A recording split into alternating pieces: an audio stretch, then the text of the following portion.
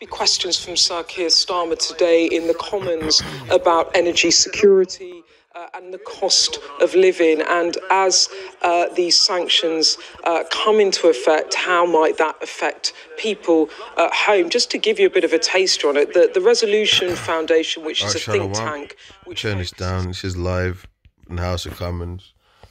Um, the last time the whole of the House of Commons stood up in support for Ukraine. I think they were wearing Ukrainian badges. Um, what I want to do is I want to tackle it from a different angle because I haven't tackled um, the hooks in the jaws part and all that yet, which I'm gonna do in another video. I mean, there's videos out there anyway, man. You know, parcels out as anyway. But um, what I want to talk about right quick is um, all wars are bankers' wars, and I want to go into the fact of um, this charagma and the fact that you know what you got to understand, man, is that when this war kicks off, that's going to be Esau. There's going to be nothing else after that. So the the mark of the beast has to be globally implemented before you know them nukes are flying, man. Like before the World War Three. The World War Three is end game. And you have to understand it's it's order of chaos. It's order all everything that's going on is order of chaos as well. Um now there's a scripture was two scriptures in my head that just slipped my mind, man. Damn. But let me get this, let me get um this wall. Alright. Go to Revelations right quick, and I'm gonna go back to that clip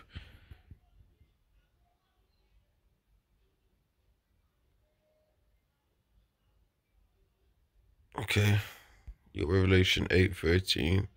But I'm going to read Revelation 19 and 12. One woe is past, and behold, there come two more woes hereafter. Right? So you had World War One, and you had you gonna have two more wars. And John the Revelator was seeing this, by the way. So he was seeing things that were gonna happen in the future. You know, he, the Lord was just, and we understand them, them now because the, these two world wars. Oh, come on, man! That is major history. And it, you know, when it, when was that's what 1940, 40, 39 to 1945. That wasn't that long ago. You know, they still do remembrances for it. It says the second war is past, and behold, the third war cometh quickly. Now I'm going to go into some scriptures here to show you well, well, let me read this one. This is Revelations 12 and 12. It says, Therefore rejoice ye heavens, and ye that dwell in them. Woe to the inhabitants of the earth and of the sea, for the devil is come down unto you, having great wrath, because he knoweth that he have but a short time.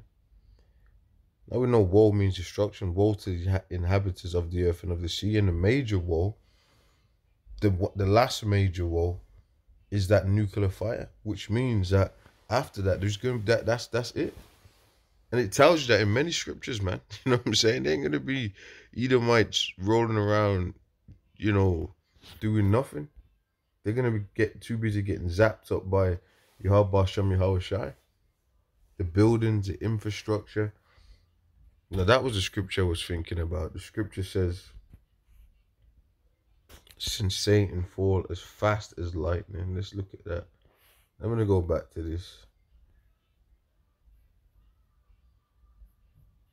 It's in Luke. Luke 10 and 18. And he said unto them, I beheld Satan as lightning fall from heaven. You know, that's how quick this man's going to go out during what? During this uh, Third World War. Okay, so you want to talk about this war, man?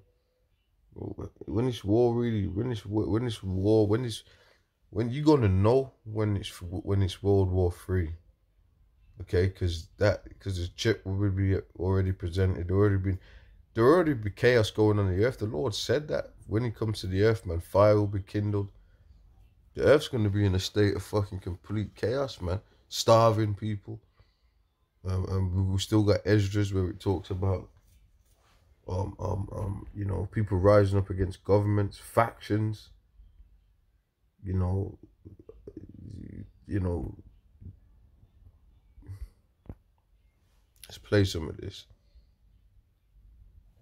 I'm popular with many of their own MPs, and it's meant that people are having to go through a lot of paperwork and jump through a lot of hoops to get a visa to enter the UK, and the government under pressure to change that system. And just to give you the context of the difference between Ireland's approach and the UK, the population of the UK is 13 times larger than Ireland, but so far we've offered home to about a third as many refugees. Okay, the PM's up, let's listen. Prime Minister. Um, Mr. Speaker, thank you. Never before has this House listened to an address like the one given yesterday. See, if you notice, they're wearing um, Ukrainian colours, so they're showing, showing you at this time and stage who they're backing. Okay.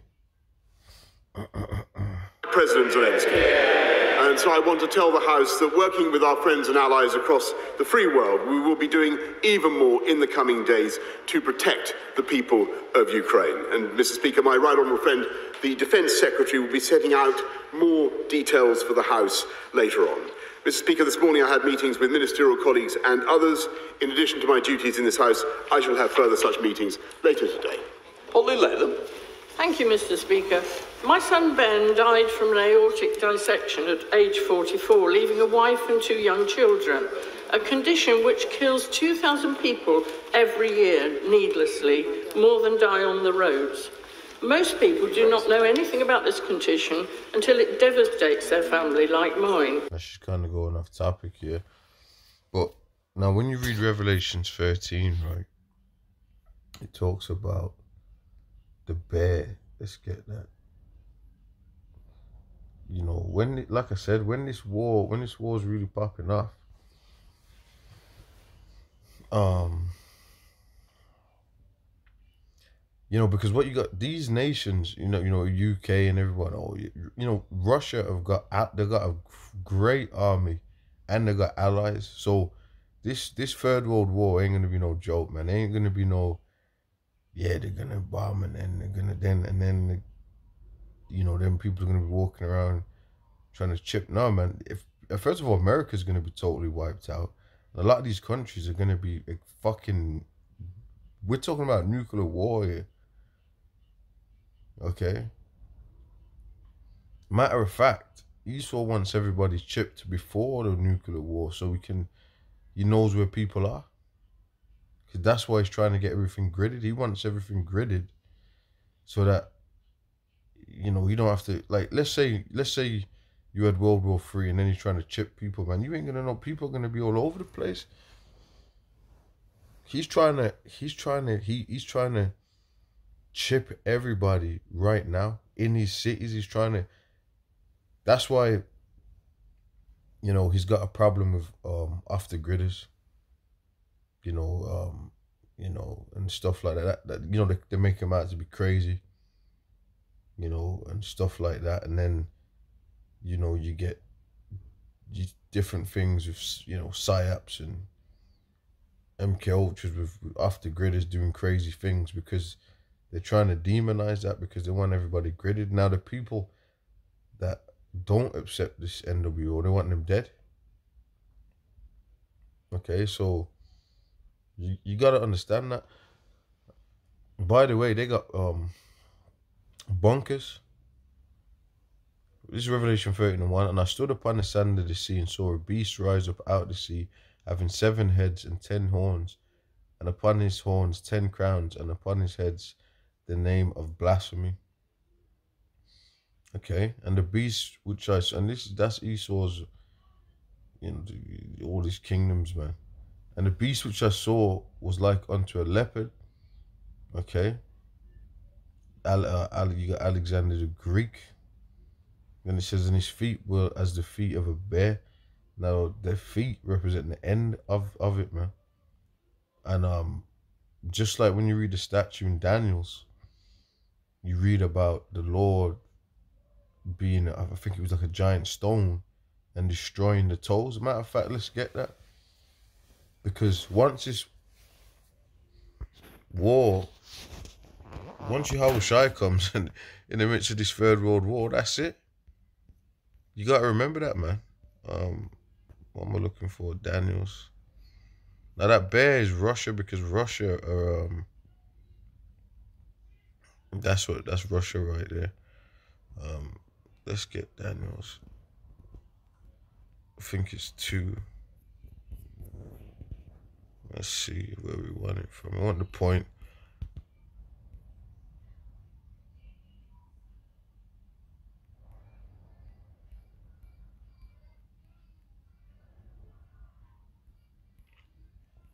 Okay, there's a couple of parts. Daniel's 2 and 41. And when and whereas thou sawest the feet and toes, part of potter's clay and part of iron, and the kingdom shall be divided, but there shall be in it the strength of iron, for as much as thou sawest the iron mixed with ivory clay, iron mixed with miry clay, because you got these you got strong economic countries and debt countries. You got NATO and you got the EU, and they got a pact together to fight. I think that's the NATO one and then you got the EU, and um, Britain pulled out of that, which pissed off. You know, um, pissed them off. But you notice how they're getting involved with the NATO. They're getting involved with the war. You know, even though they've pulled out of the, the EU. So these countries like work hand in hand, and it's funny because, and when you read Revelations, it talks about think they received their power one hour with the beast. Um, so all this is coming together, man. All this is coming, all these prophecies are coming together. It says, as the toe and as the toes of the feet were part of iron and part of clay, so shall the kingdom be partly strong and partly broken. And that's you know you got the the, the EU's had its own problems going on for for these years you know, economic problems, man. If you've been watching the news over these years, man, Greece, they're poor as hell. Spain, that's another country that's like that. You know, a lot of unemployment. So a lot of people over in Spain, they they be chilling. You know, they got certain called um I don't know if they call it siesta, where at a certain time of the day everybody just chills out. They just stop working. And um they they, they got a high unemployment rate over there so, you know, these are like issues that have been affecting, you know, um, NATO and the EU. And whereas thou sawest iron mixed with miry clay, they shall mingle themselves with the seed of men, but they shall not cleave one to another, even as iron is not mixed with clay. And it's crazy, man, because um, like I said, the Britain left the left the uh, EU, but they're kind of still getting involved. They're showing well, they're showing their support for um, yeah, Ukraine, which is seen more as a west as a Western country. You know what I'm saying? And you know, um, you know, to go even deeper into it, it's gonna get it's gonna it's gonna be more chaos than this. Okay, it says, and in the days of these kings shall the power of heaven set up a kingdom which shall never be destroyed, and the kingdom shall not be left to other people, but it shall break in pieces and, cons- and consume all these kingdoms, and it shall stand forever. For as much as thou sawest that the stone was cut out of the mountain without hands, and that it break in, in pieces the iron, the brass, the clay, the silver, the gold, the great power, power Yahweh Shai have made known to the king what shall come to pass hereafter, and the dream is certain, and interpretation the rough short. So the feet, the toes represent that's the end. That's the you, you got them ten, you know, toes, and that and that, that proves that it represents the end of something because it represents the end. If you look at the statues in Daniel, the Lord smashed all all the he smashed all the kingdoms, because they ain't coming back. None of these other nations are gonna come back into power. They're all talking about this. They're all talking about that. But none of these nations are actually gonna come back into power, man. So they can say what they want. But the scripture says the kingdom shall not be left to other people. So, you know, no Chinese, none of these nations, they're not they're not getting back up in there. You know that you got the Chinese that believe, yeah, okay, we're gonna take over, or you know, whoever wins, this is gonna be the new. No, no, no, no. Oh, and, and that's a whole nother. That's a whole lesson. We can merge it with this lesson. Let's see. So many of these cases are preventable by identifying those at risk and early and accurate diagnosis. Would the Prime Minister commend the work of the Aortic Dissection Charitable Trust in working with all aspects of the patient pathway about this condition? And in particular, will he commit to public funding for research into the diagnosis of aortic dissection and into genetic screening for it? Prime Minister. May I say to my honourable friend first uh, how very sorry I am, as I'm sure the whole House is, for the loss of her son, Ben. And she's a passionate advocate So for this work and part, I 'cause- health. A forced £200 loan for every household, paid back in mandatory instalments over five years. The big gamble behind that policy was that energy costs would drop quickly after a short spike. That bet now looks certain to fail. When will the Prime Minister force the Chancellor into a U turn? Prime Minister.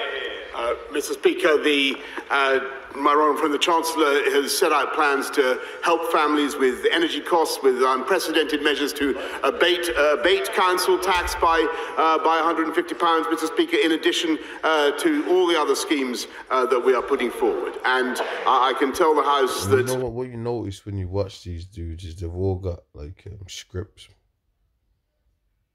So they got like certain questions, and then um then you know he's got like the written answers to the questions. You know, Uh, yes, he's absolutely right uh, that we need to meet uh, the long-term impacts of the spike in uh, in energy prices, and that's why I will be setting out an energy independence plan uh, by the way, the mouth. When you go back to Revelations um, thirteen, is is England, because um you know America, you know the the power really you know comes from England, man. It says in the feet was as the feet of a bear, and his mouth is as the mouth of a lion, and that's why they're sitting there in these seats. Do you know, talking about the global stage? You know they got gold on the table. You know, then they're talking about global world events. Now, at one point, Jake used to be all up in here, which is a whole nother topic. Matter of fact, let me get that, and I want to go back to.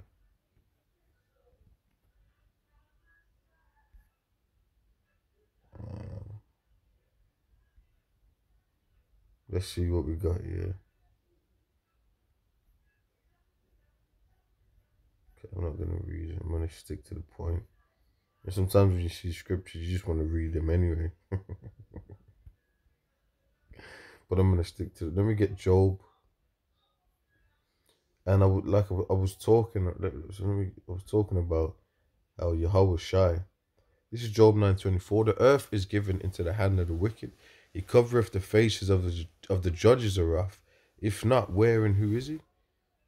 So now, when you watch, now I wish I could type it in, but uh, you know, you know these phones, man. I need a phone just for you know these phones. Just all your fucking information on the shit, man.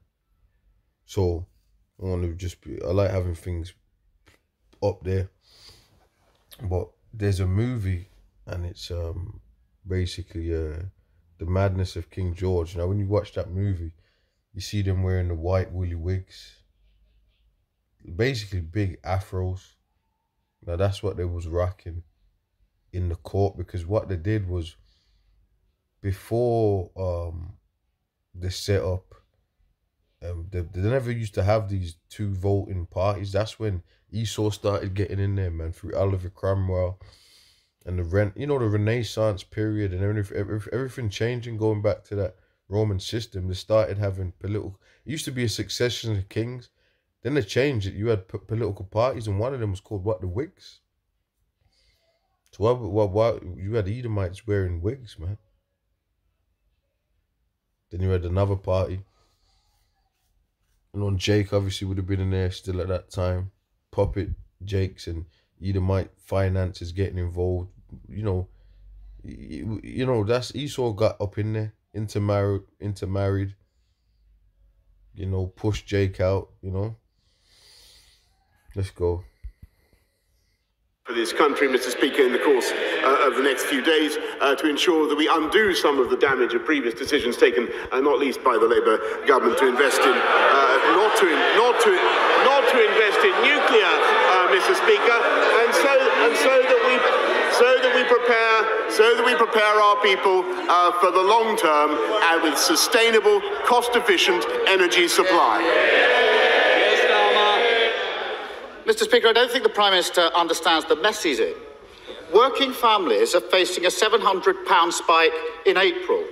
They won't even receive their £200 loan from the Chancellor until October. The wholesale price of oil and gas is now ballooning. So, by October, when the loan finally comes in, household bills are set to shoot up by another £1,000. It's a total mess. So there goes there goes the beginning of sorrows again and all that that we was talking about, man. This now now this is what we're saying, man. You know, they they got something called what the dark winter. This is what we're saying. They're telling you right here, man. Things are gonna get fucking worse. I just did a video on it, and then now this is live House of Commons and they're telling you that all of these energy prices, gas bills, everything is going is going to be shooting up.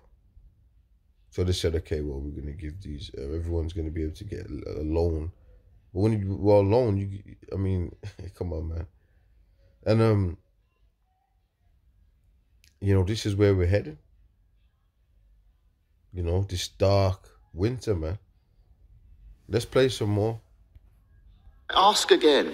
When is the Prime Minister going to force the Chancellor to U turn? Prime Minister. Mr. Speaker, if he's asking for the Chancellor to U-turn on the support that we're giving uh, to families and, households, uh, I, think that he, I think that he's uh, I think that he's absolutely out of his mind. Uh, we are going to continue uh, to give people support throughout this difficult period, as we did throughout the coronavirus epidemic, Mr. Speaker, uh, with unprecedented levels of, of support. We have a £200 discount on bills, £150 a non-repayable uh, reduction in uh, council tax, and £144 million extra to help councils support vulnerable families uh, with their energy bills. Uh, altogether, Mr. Speaker, there is a £20 billion package of financial help that we are giving the British people, and we will continue to do more. I think a U-turn, Mr. Speaker, is the last thing we want. Mr. Speaker, we'll see how long that position lasts. Uh, let me try and let me try and help the Prime Minister. Let me try and help the Prime Minister by coming at it from a different angle. Before Russia invaded Ukraine, North Sea oil and gas companies were making bumper profits. BP made 9.5 billion pounds.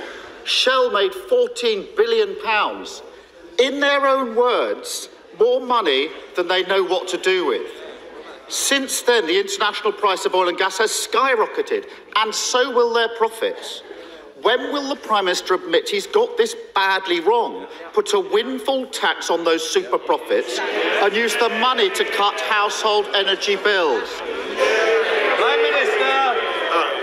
Mr. Speaker, the, the, the, net result of that would simply be to see the oil companies uh, put their prices up yet higher, uh, Mr. Speaker. Uh, what we are, what we are, uh, and and and Mr. Speaker, uh, and Mr. Speaker, make it more difficult for them to do what we need them to do, and which I think, by the way, Mr. Speaker, they are doing very responsibly at the moment, and that is divesting from dependence on Russian oil and gas, and, and that is the That is the way forward for this country. It is to take it is to take a sober, responsible approach, uh, end our dependence on, on, on hydrocarbons altogether, and particularly Russian hydrocarbons. And we are taking steps to rectify some of the mistakes made by the Labour government and have a long-term, sustainable, independent energy supply policy. That's what this country needs. Protect So it says the UK will phase out imports of Russian oil and oil products by the end of this year. Um, so we're talking about this energy crisis here, and what we're talking about also is how. And I'm gonna do some more research into it. Like I said, I've got this video to watch. Um, but um, I haven't got around to watching it yet. But um, so going back to this point here, we go to Revelations. When the Lord comes for destruction. Right? That's it. So this Charag has to come before. Now what I want to do, you know what I'm gonna do? Let's actually let's let's read second Esdras 15. This is second Esdras 15 and 1. Uh, it says um Behold, speak thou in the ears of my people the words of the of the words of the prophecy of. Let me read it again. Speak thou in the ears of my people the words of prophecy, which I will put in thy mouth, saith the Lord, and will cause them to be written in paper, for they are faithful and true. Fear not the imaginations against thee, let not the incredulity of them trouble thee that speak against thee, for all the faithful shall die in their unfaithfulness. Behold, saith the Lord power, I will bring upon the world the sword, famine, death, and destruction. So you got a lot of things to look, be looking forward to, man. Even famines, and these energy crises and the food shortages and all of that is all going to be taking place, man. And by the way, another thing they want to they want to force people to accept this NWO. They want to force people to get this thing to get them um the Charagma, the MOTB. You know, by desperation and by deception. You know, this is you know this is you know you're saving the planet through um, Greenpeace, which I'm gonna go to do another video on that. It says for wickedness have exceedingly exceedingly polluted the whole earth, and the hurtful works are fulfilled. All right, let's let's go on. Now you know what? What I'm gonna do is I'm gonna jump down.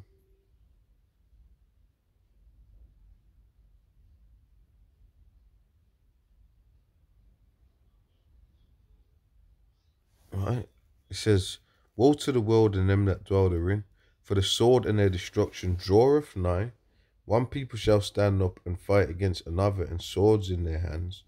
Now check this part, because this part's this part's talking about people rising up against government. For there shall be sedition amongst men, invade and invading one another. They shall not regard their kings nor princes, and the course of their actions shall stand in their power. Now this scripture is talking about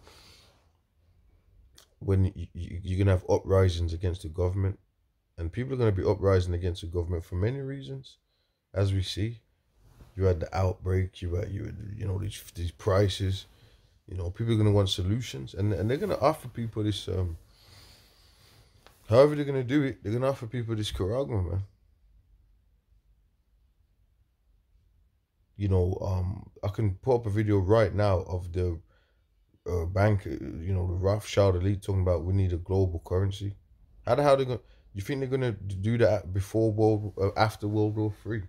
Would have proved that they ain't anyway. But they, now they need to re they need to destroy everything internally.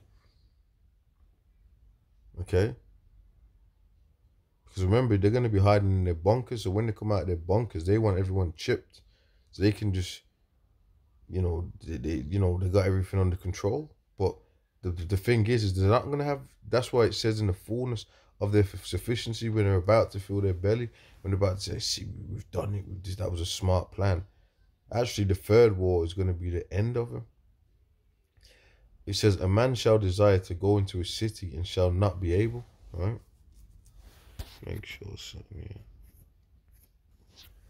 A man shall desire to go into a city and shall not be able. For because of their pride, the city shall be troubled, the houses shall be destroyed, and men shall be afraid. A man shall have no pity upon his neighbor, but shall destroy their houses with the sword. So you're gonna have all out chaos happening before um this World War Three. Before like the before you know the nuclear proliferation of the planet. You're gonna have chaos going on. A man shall have no pity upon his neighbor, but shall destroy their houses with the sword and spoil their goods because of the lack of bread and for great tribulation. What he says, because of the lack of bread and for great tribulation, man. All right. Uh, let me get another scripture here.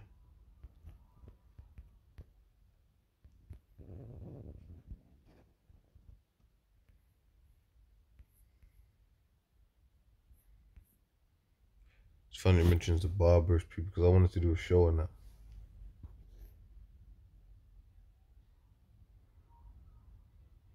Because, you know, Paul, I was, I'm actually going to do a video on that, man. Luke 12 and 49. I am come to send fire on the earth. What will light if it be already kindled? And it will be. So there's going to be all kind of chaos on the earth. Now, when the Lord comes back, he's going to actually take out and cast out Satan in that third world war, like we said. Like we, like we can prove. And like I've already really proved it. Um, but let's carry on here. Let's let's carry on. Now, before I do that, I want to get some more of this. Energy profits, not working people. Doesn't that say it all?